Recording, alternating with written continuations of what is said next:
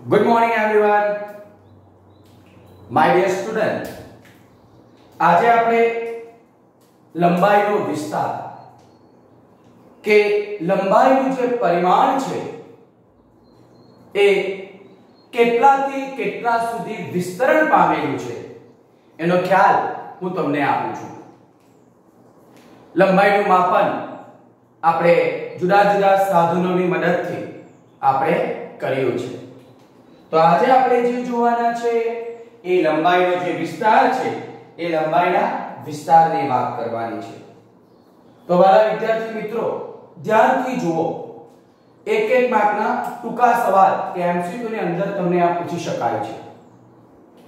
કે આજે આપણે વિશ્વની અંદર જે નિહાળી શકાતા જે પદાર્થો છે, એના પરિમાણ ખૂબ જ વિશાળ વિસ્તારની અંદર ફેલાયેલા હોય છે.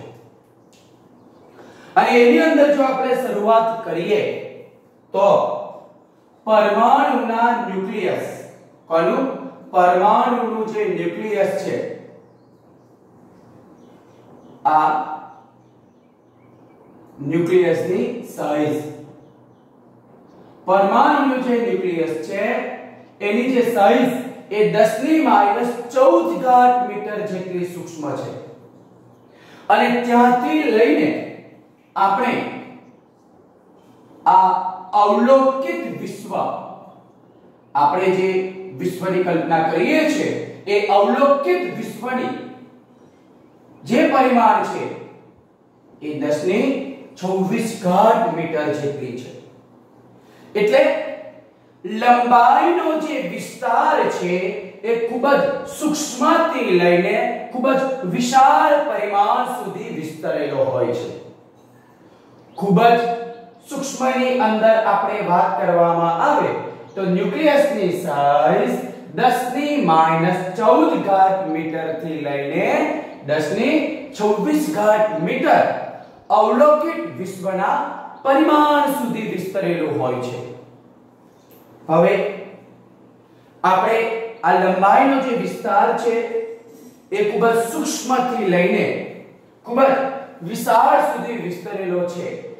એટલે એને અનુરૂપ લંબાઈના જુદા જુદા માપક્રમનો આપણે અહીંયા ઉપયોગ કરવાનો છે.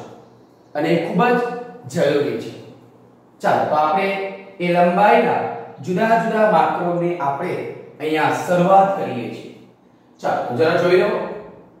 આપણે શરૂઆત કરીએ છીએ પહેલા આ વન ફર્મી બરાબર છે? એટલે લખાય અહીંયા, એને એક આપણે લખવું હોય તો આ ફર્મી અને એક ફર્મી બરાબર 10 ની માઇનસ 15 ઘાત મીટર છે. આ ફર્મીને કન્વર્ટ કરવો હોય મીટરમાં, તો 10 ની માઇનસ 15 ઘાત મીટર વડે આપણે ગુણવું પડે. કારણ કે ફરવી ખૂબ નાનો એકમ છે. અને એના કરતા મીટર ખૂબ મોટો છે. ચાલો, ત્યાર પછી આગળની વાત કરીએ. બુકમાં નથી, છતાં લખી દઉં છું. ઉપર લખ્યું છે, આ ન્યુક્લિયસની જે સાઈઝ છે, જે આપણે ગણી છે 10 ની માઇનસ 14 ઘાત મીટર. બરાબર છે? ચાલો, ત્યાર પછી આપણે જે લઈએ છીએ એ એક એંગસ્ટ્રોમ.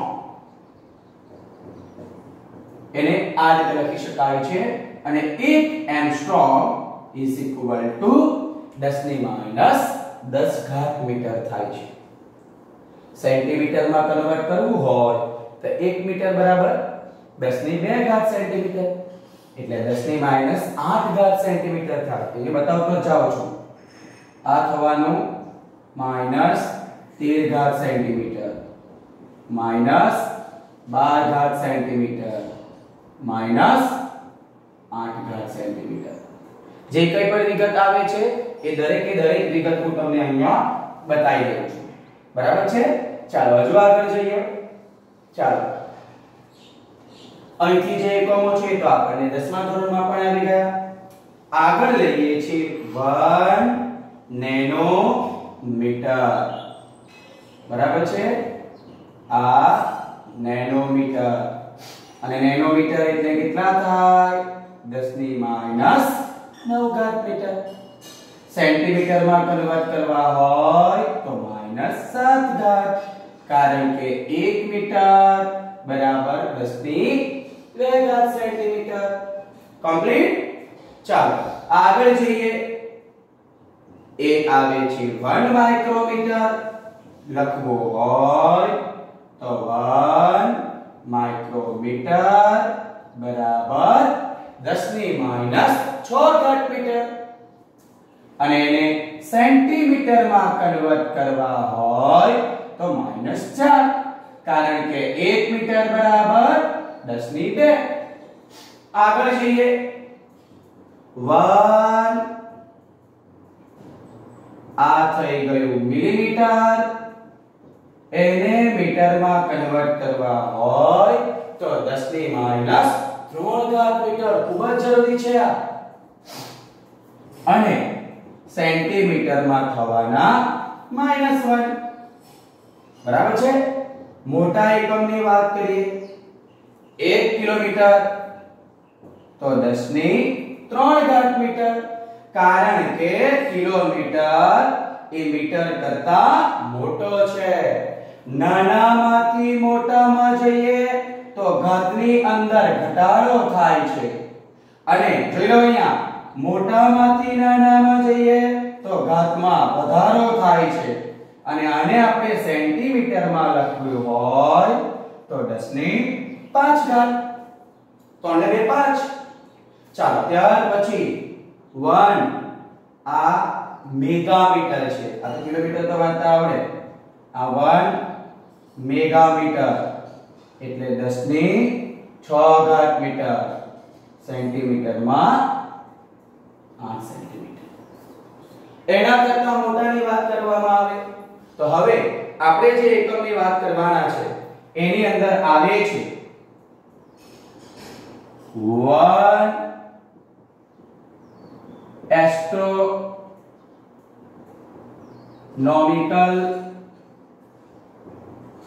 યુનિટ એટલે 1 AU અને એની કિંમત જે આપવામાં આવી છે 1.496 10 raised to 11 મીટર હવે આ 1 એસ્ટ્રોનોમિકલ યુનિટ શું છે? તો એ 1 AU એટલે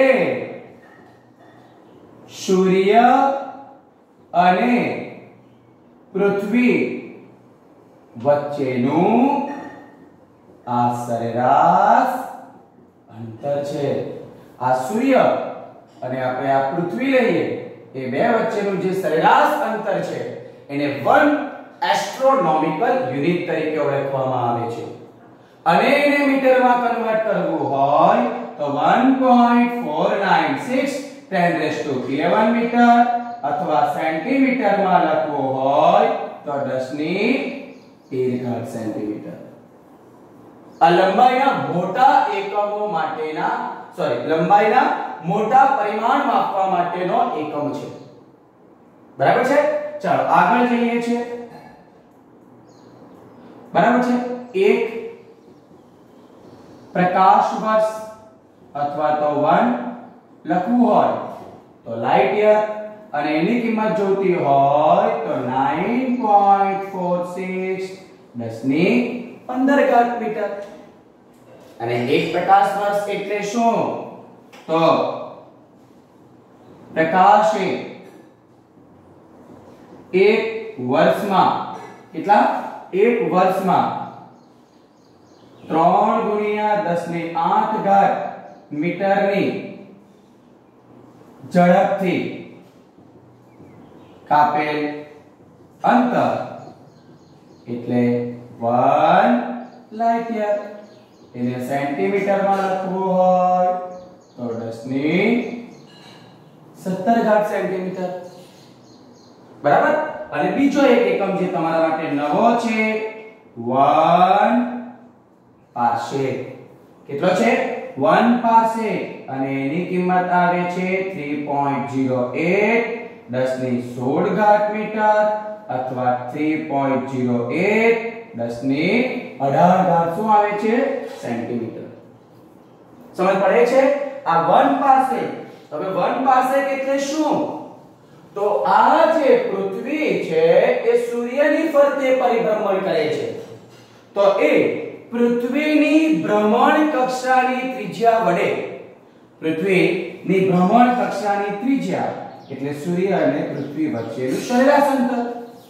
એના વડે જે અંતરે, બરાબર? લખવું હોય તો લખી શકાય કે પૃથ્વીની આ ભ્રમણ કક્ષાની કોના વડે?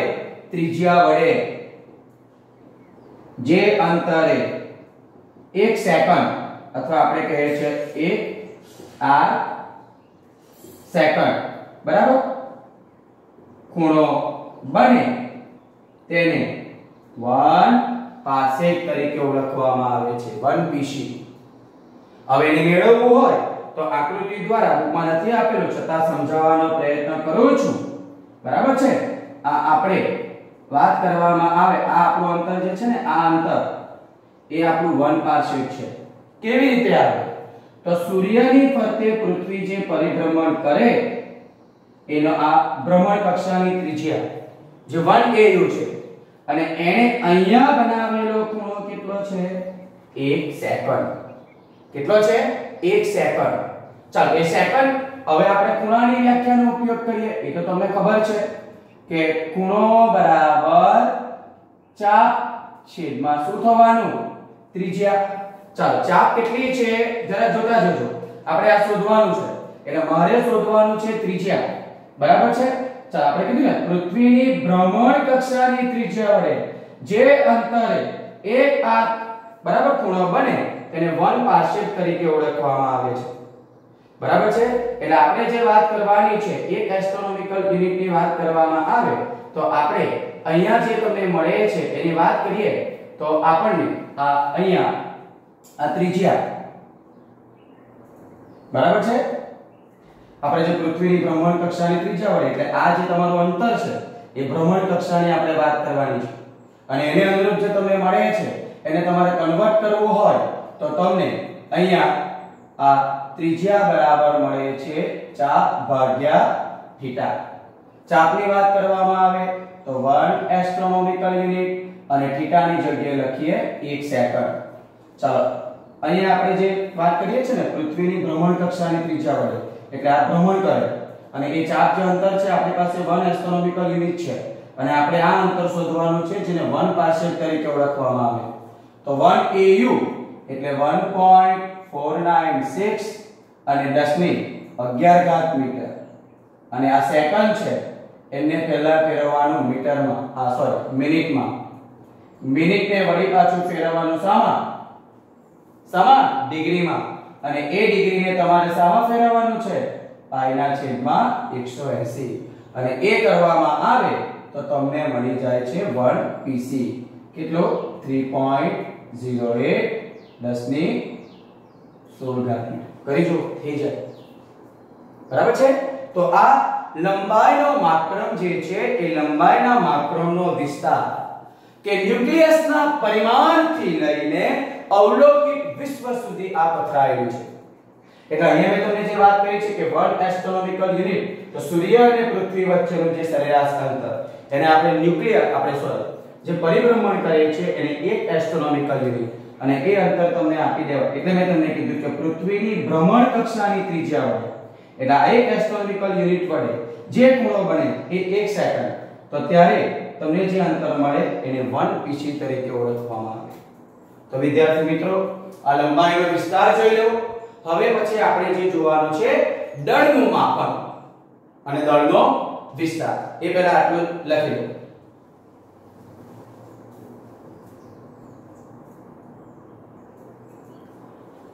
ચાલો, હવે લંબાઈના માપન પરથી સોરી પછી આપણે આ દળનું માપન કરી લઈએ છીએ. તો દળ એટલે દ્રવ્યનો જથ્થો. દળને કેવી રીતે વ્યાખ્યાયિત કરીએ છીએ? કે આ દ્રવ્યના જથ્થાને આપણે દળ તરીકે ઓળખીએ છીએ. અને એ પદાર્થનો મૂળભૂત ગુણધર્મ છે. પદાર્થનો કેવો ગુણધર્મ છે? આ મૂળભૂત ગુણધર્મ છે. અને એનો SI એકમની વાત કરવી હોય તો આપણે પણ યાદ છે. કિલોગ્રામ છે. એક્ચ્યુઅલી દળ માપવું હોય તો ગ્રામ. બરાબર? કિલોગ્રામ એનો SI એકમ છે. આપણે ક્વિન્ટલ, ટન, બરાબર? એને જુદા જુદા એકમોમાં મેઝરમેન્ટ કરીએ છીએ. પણ SI એકમની અંદર એને કિલોગ્રામ વડે દર્શાવવામાં આવે છે. અને આંતરરાષ્ટ્રીય, બરાબર છે? આ આંતર રાષ્ટ્રીય આજે જે તોલમાપ સંસ્થા છે. બરાબર છે? આંતરરાષ્ટ્રીય જે તોલમાપ સંસ્થા છે, એના દ્વારા આપવામાં આવેલા. આ જે કિલોગ્રામ જે એકમ છે, એની જે પ્રતિકૃતિ છે, એ વિશ્વની જુદી જુદી પ્રયોગશાળાની અંદર ઉપલબ્ધ છે. બરાબર? અને આપણા ભારતની અંદર પણ આ એનપીએલ નેશનલ ફિઝિક્સ પ્રયોગશાળા લેબ અને એ દિલ્હીની અંદર આવેલી છે. ત્યાં આ કિલોગ્રામની આંતરરાષ્ટ્રીય તોલમાપ સંસ્થા દ્વારા આપવામાં આવેલી પ્રતિકૃતિ અવેલેબલ છે. આપણે દળનો એકમ આપ્યો છે કિલોગ્રામ. પણ આપણે જો પરમાણુ અને અણુ આ પરમાણુ અને અણુની વાત કરવામાં આવે તો આ સૂક્ષ્મ અણુઓના દળ એ આપણે કિલોગ્રામ એકમમાં માપી શકાતું નથી. આજે આપણા પરમાણુ અને અણુની વાત કરવામાં આવે તો એ સૂક્ષ્મ અણુઓના દળ આપણે કિલોગ્રામ એકમમાં માપી શકાતા નથી. એના માટે એક નવો એકમ વ્યાખ્યાયિત કરવામાં આવ્યો છે. Unified atomic mass unit unified atomic mass unit આ સૂક્ષ્મ કણોનું દળ માપવા માટેનો એકમ છે. અને આ વન યુનિફાઈડ એટોમિક માસ યુનિટની વ્યાખ્યા આપવામાં આવેલી છે કે ઇલેક્ટ્રોન સહિત. કોનું?